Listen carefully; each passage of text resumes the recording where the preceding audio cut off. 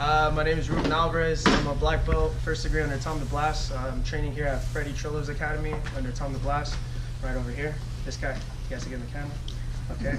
Um, I'm gonna show you guys one of my favorite setups off of a standing where I hit the Russian into the Imanari roll. So let's get right to it. The guy makes the tie up here. First thing I'm gonna do is I'm gonna keep my hand next to my chin. My shoulder here is gonna turn like I'm looking towards the camera. I'm gonna look away and catch. As soon as I catch, my hand's already underneath here. I'm gonna get into the uh, figure four trap here, the reverse Kimura. I'm gonna lock here, and I'm gonna keep it tight to his stomach.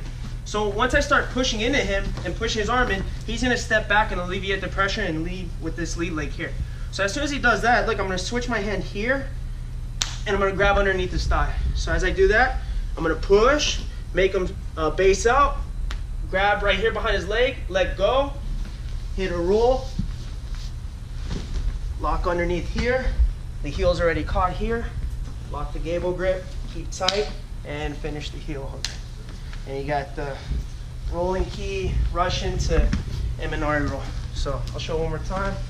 Here, hit the Russian, go to the rolling key, he alleviates the pressure. As soon as I feel that, I'm gonna draw my base, put my hand here, quick switch, hit the roll, and lock to the heel hook. And get the finish. Here's your technique for Germany.